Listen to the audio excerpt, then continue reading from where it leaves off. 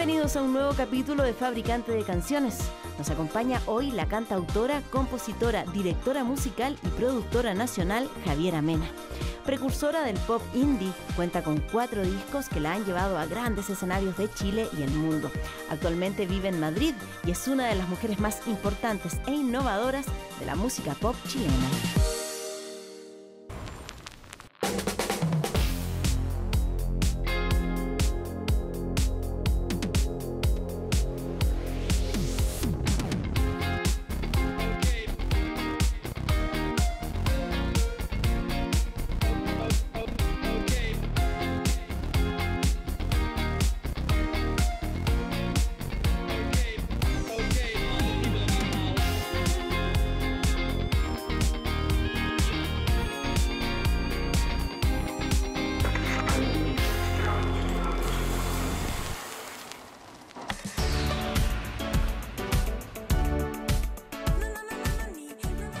Madrid, del hecho de, de, estar ya viviendo allá.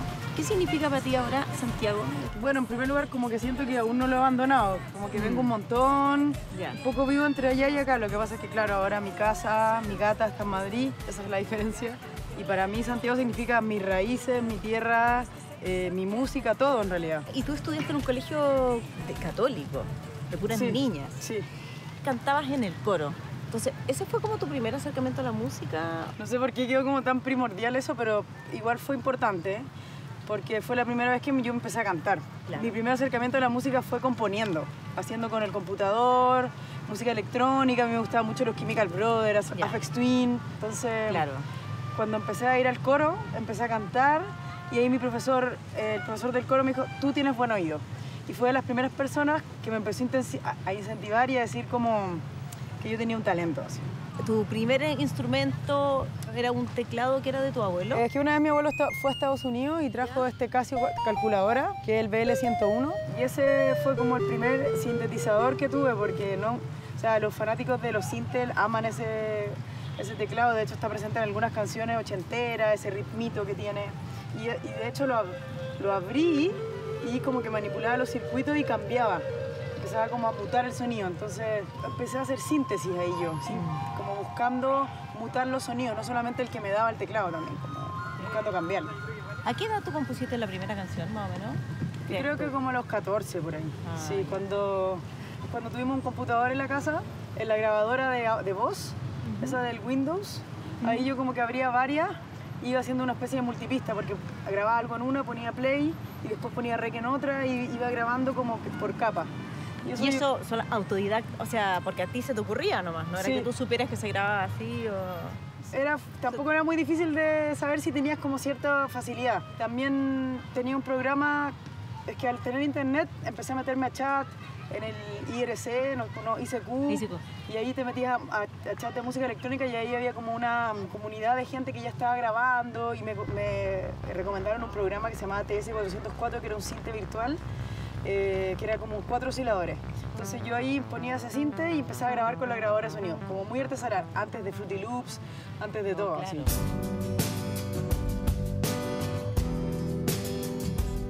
Y esas primeras canciones, ¿de qué hablaban? ¿Tenían contenidos similares a lo que escuchamos en, en esquemas juveniles? Tu debut, que era como generalmente como amor Mm. o desamor, despedidas, pero todo como ligado como una relación amorosa. Sí, sí, se trataban un poco de eso, pero quizás no me preocupaba tanto que me entendieran, era como mucho más poético, como más, como hablándole incluso al inconsciente, así. Eh, no me importaba eso, ser entendida, como esquemas juveniles que me propuse algo un poco más pop, que tuviera como más lugares comunes.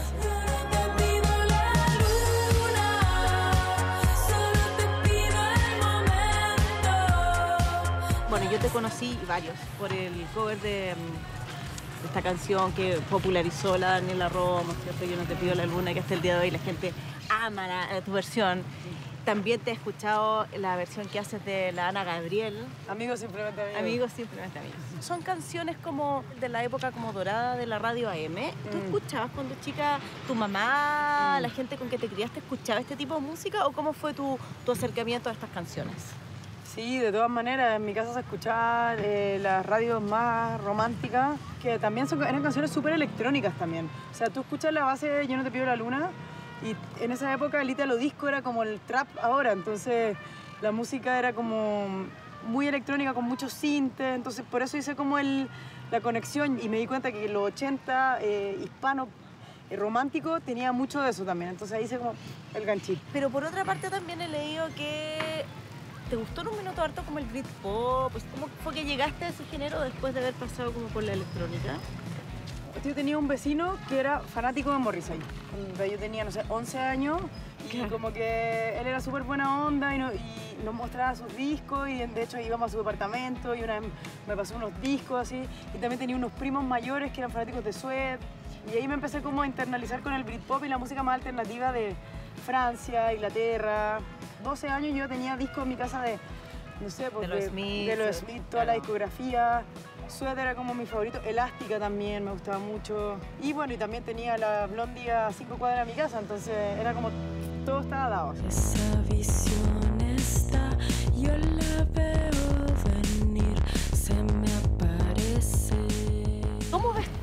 de, de- de aquí hacia atrás, mirando hacia atrás, el- los procesos que has tenido tú para componer, para escribir canciones y también para autoproducir de cierta forma tu música? Eh, los veo como súper eh, solitarios, Eh, sobre todo la parte de componer. Ya. Ya la producción he tenido mis partners, pero igual toda la parte génesis de componer la canción, de más o menos direccionar para donde vi, iba, lo, lo siento súper solitario. Algo que está cambiando ahora para mí. Yo, yo me siento ahora en una época como muy de colectivo, pero si miro para atrás, como algo como muy personal. Cristian Jaime eh, produce tu debut, después trabajaste con él en los dos discos que vinieron después, ¿cierto? ¿Cómo se dio esa dupla? Yo la verdad había escuchado su trabajo con Supernova y Shogun y dije, "Mm, es el mejor productor como, con, con cual yo podría trabajar y nos conocimos en un... Cuando yo puse unas canciones para una película hace muchos años y tuvimos buena onda de uno. Y él estaba con Coco Stambuk y ellos estaban como siendo los directores de la película, de los directores musicales. Ya. Y ahí lo conocí, pegamos buena onda al tiro. Yo creo que por un lado, cuando uno trabaja con un productor, está la parte mm, eh, de trabajo, pero por otro lado, para mí sobre todo, es muy importante tener buena onda. Y con él tuve muy buena onda de una, teníamos referentes musicales muy parecidos y a la vez teníamos esa pata como en lo alternativo, pero también la pata en el pop. Volqué mi computadora en su Claro, le estudio. pasaste muchas canciones. No, las dos, las Todas. once. Ah, ya, ya. Es que yo ¿Pero no tenías más? no, es que yo sé como tengo una cosa rara hasta el momento que las 10 canciones que compongo son las 10 del disco. Cuando te miro,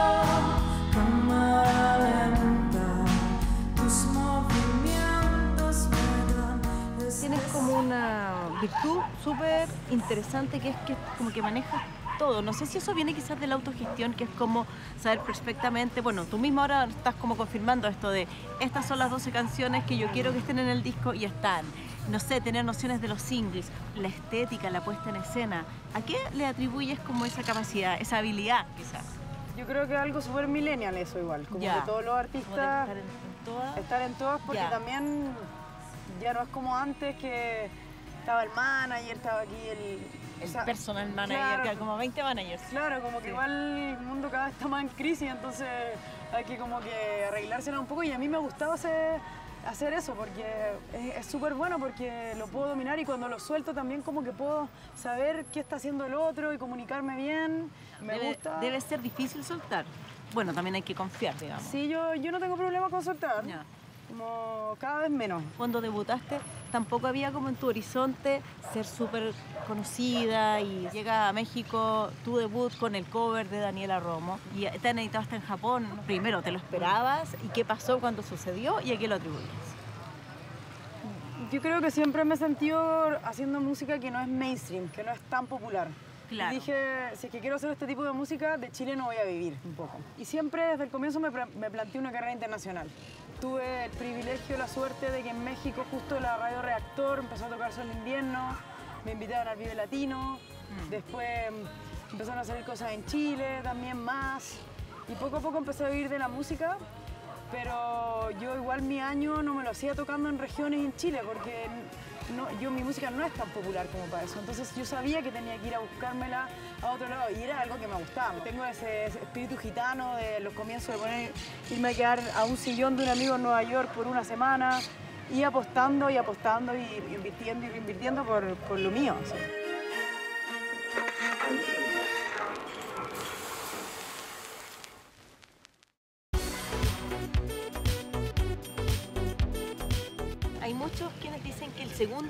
Como el más difícil de todos porque de cierta forma Sí. tienes que demostrar ya que no eras una artista de, de solamente, no sé, como una artista que Claro, la viene. frescura del primer La disco también. frescura, no Mm. sé, ¿no? un artista que tiene un súper primer buen disco no necesariamente tiene un segundo disco Claro. igual de bueno, entonces en ese Mm. sentido hay más expectativas puestas en ti. Sí, ¿Cómo, sen- ¿Cómo sen- recuerdas eso? sentí esa presión del primer disco, pero Claro. tampoco tanto, porque tam- era... Tú querías avanzar en el fondo. Claro. Y también fue como un poco parecido de vol- volcar mi computadora en el estudio. Eh, me acuerdo también como con mi computadora dentro del estudio llevándome como la CPU ahí y yo como exportando mucho rato. Y mm, después ya empezamos a grabar más sintetizadores en ese disco, como dándole un sonido más noble también. ¿Y este disco, tú lo pensaste de antes, así como ya quiero que sea un disco que sea más bailable, por ejemplo, que tenga canciones más pegajosas? ¿O eso se fue dando como en la producción con Jaime en el estudio? ¿Cómo fue? No, yo la tenía de- en la cabeza hacer, sí, siempre ya. hacer una onda un poco más, más arriba, más electro, más dance. Quise hacer electropop de una, ya desligarme un poquito de las baladas Exacto. y hacer bailar así. Eso me, me apasionó. así.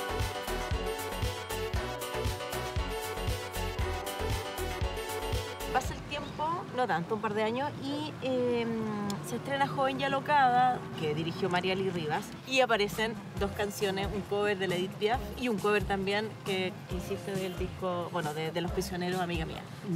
¿Cómo, ¿Cómo fue esa relación con la Mariali Rivas? ¿La conocías de antes? ¿Ella te llamó? ¿Hubo un productor entre medio? ¿Cómo se fue dando eso? Fue algo muy de amistad, yo la conocía a ella. Entonces ella me lo pidió y se fue su idea, como quiero hacer un cover de Edith Piaf y de Jorge González, amiga mía. Y me dijo como, toma, hazlo.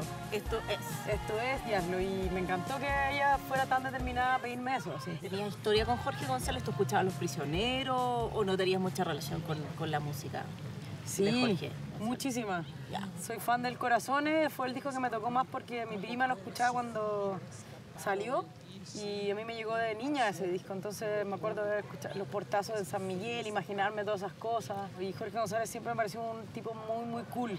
Como, a un- como el único músico que yo sentía que estaba conectado como con la electrónica, con Pet Shop Boys y muy, af- muy como afín a mí. Entonces después cuando lo conocí ya fue como un, no, me di, o sea, ya no, no, no quería más. así. Oye, Javier, ¿y tú crees que Jorge González y la música de él, tanto en Prisioneros como en sus otros proyectos, ha sido in- influencia para ti? Sí, de todas maneras. Como la- esta cosa electro dance, Claro. como noventera. Eh, para mí el único chileno que lo ha hecho, bueno, al- algunos otros, pero... O quizás fue como uno de los primeros en hacerlo. Sí. En sus discos solistas, por ejemplo, que no entendieron mucho la época. Claro, a él le gustaba, él me decía que él escuchaba Bananarama en esa época, como Bueno. Rick Astley, cosas así como súper cheesy, y la gente no lo entendía porque él venía como algo súper serio, como medio punky, medio de clash. Súper profundo, claro. Pero no, pues ahí está la, la mezcla astuta de Jorge, yo creo, que tiene esta, esta onda como media voguing, pero a la vez te está dando un contenido como súper importante y poético también. Y es como, para mí, un gran referente. así. Yo sé que nunca vamos a dejar que este amor se nos vaya.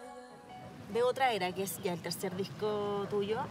Cada uno de esos discos salió cada cuatro años, justo, Sí, ¿cierto? como que los yo ahora mundiales. entiendo que tiene... Un mundial de fútbol. Como si fuera pensado, quizás no fue tan así, que tiene que ver quizás con los tiempos del estudio. De Patch Mod también traje cada cuatro discos, cada cuatro años. Ah, ya, no sabía. No, lo mío, no, lo mío fue aleatorio. Fue muy fortuito, claro. Sí, se dio así, la verdad. Y, en cuanto a composiciones y a sonoridades de cada disco, ca- cada vez quizás más bailable, más como esta cosa como de que va de la mano como con el espectáculo también. Mm. ¿Cómo ves ese...? Sí, un poco me... Cada vez me fui eh, adentrando más en la música electrónica. Eso lo siento, sí. aunque cada disco tiene un par de baladas. A mí lo que más me apasiona es tirar un beat y de hecho hay gente que me dice, por favor, vuelve a hacer esquemas juveniles y es como, pucha, mi corazón no lo siente, pero Ya.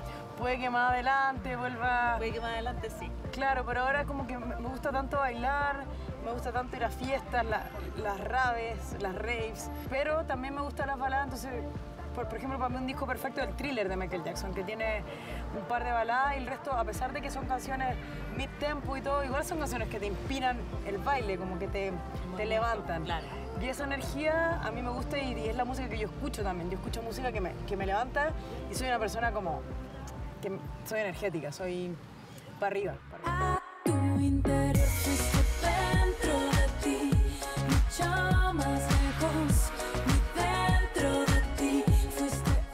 Espejo, que ya ese disco no lo produce Cristian Jaime. Mm. Trabajas con distintos productores. ¿Cómo, Sí. ¿Cómo se da eso? Es un disco más colaborativo, yo también asumiendo más el rol como de productora, más poniendo más la cabeza Sí, sí, y la sí. dirección.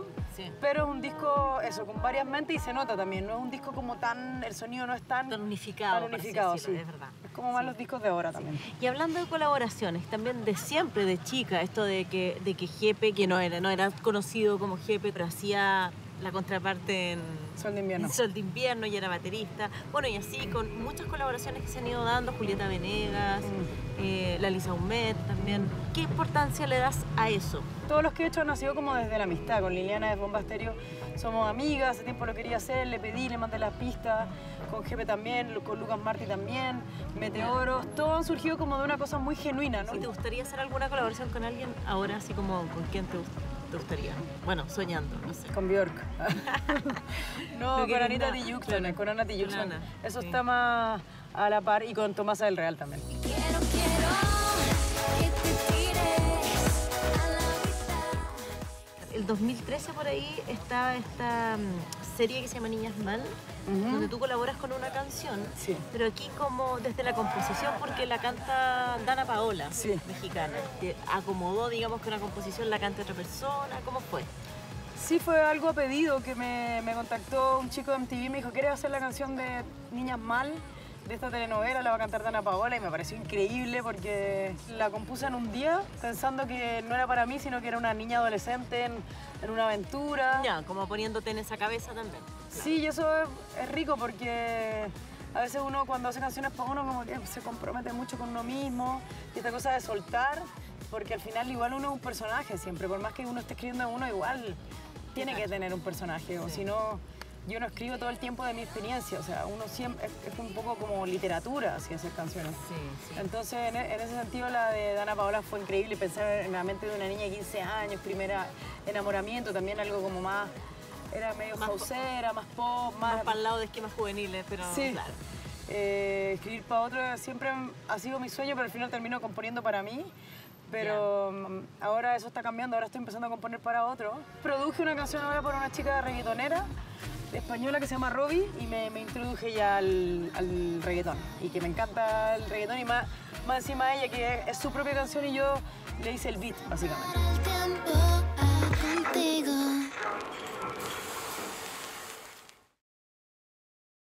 Finalizamos nuestro viaje en la cantera Restobar en Ñuñoa, donde Javiera nos entregará un regalo musical. Y en relación a, a tu sonido y a, a- a tu concepto artístico, la verdad es que da la impresión que tienes como todo muy claro, no solamente en el cómo suena una canción, un disco, sino que también lo que es la gráfica, la estética, la puesta en escena, el vestuario. Eh, ¿Cómo vas tomando ese tipo de decisiones? Sí, bueno, he tratado de tener como así un concepto musical por disco, también tener un concepto estético por disco. Y mm, cada vez lo hago más consciente, quizás con los primeros discos se iba dando un poco, pero por ejemplo la otra era, era full como yo DJ, bailarina en la puesta en escena y ahora volví con el espejo más a la cosa más banda, más crooner, como yo más adelante, como que en el, en el- en vivo por un lado y también la parte estética también me voy impregnando de lo que está pasando en el mundo. Javiera, bueno, tengo entendido que tú trabajas con un equipo mayoritariamente femenino, si no todas mujeres. ¿Cómo ves tú el tema como de la igualdad y de la equidad en la industria musical, no solo chilena, sino que también en España, donde tú ya estás viviendo? Sí, en general todo lo que tiene que ver con la ciencia, que la música es eh, un- una ciencia exacta también.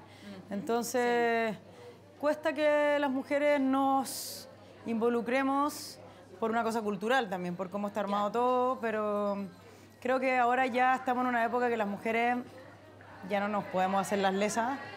Está YouTube, están los tutoriales y está el camino abierto. Entonces es como la época de demostrar que el espacio está y que de una vez ve- eh, como que nos e- empoderemos, esa palabra que tanto se usa pero está buena, empoderemos y ocupemos el lugar desde ese lugar pensante y de, de lo científica que somos, como es la ingeniería en sonido, las perillas, eh, arreglar tu televisión, no sé, como esas cosas que siempre es como, no, que lo haga un hombre, pero creo que ya esa época ya pasó un poco, ya está como el camino abierto. Hay algo en tu belleza con esos modos que llevas. que Recordemos cuando tocaste en el Festival de Viña, también se habló un poco que tu show era como muy de vanguardia, quizás para el público del festival. Bueno, en el fondo, como cuéntame qué te pasó a ti con eso, si sientes lo mismo y cómo fue la experiencia también de estar en un festival igual súper masivo, bien masivo en Y realidad. entre Don Omar y Wisin y Yandel, y yo el medio. Chuta también. Y Meruane. ya. A mí me gustó la experiencia, como que mm, también mostrando algo diferente, que Sí, eso sí, eso sí. Cuando muestras algo diferente y te arriesgas, eh, obviamente la gente lo va a mirar desde un lado como de, mm, de lo nuevo y lo nuevo es como que te quedas como más así, pero yo sentía que la gente que estaba esperando a Don Omar o venía el reggaetón estaban como, como mirando, pero tam- como atentos, sí. Hicimos un montaje con unas bailarinas contemporáneas, como que yo siento que fue algo muy pionero, por ser nuevo, por ser punta de flecha, obviamente era como mirado más así como, ¿qué es esto? Pero, pero me encantó la experiencia. Vamos a despedir ya el programa. Eh, te quiero agradecer, Javiera, por tu tiempo. Porque Gracias. tiempo agotado y además ni siquiera vives acá en Chile. Y estamos despidiendo también el programa. Gracias por la sintonía. Javiera nos tiene una sorpresa. Va- vas a tocar Alma, ¿cierto? Alma, una canción de mi último disco llamado Espejo. Nos vemos en un próximo capítulo de Fabricante de Canciones. Hoy estoy aquí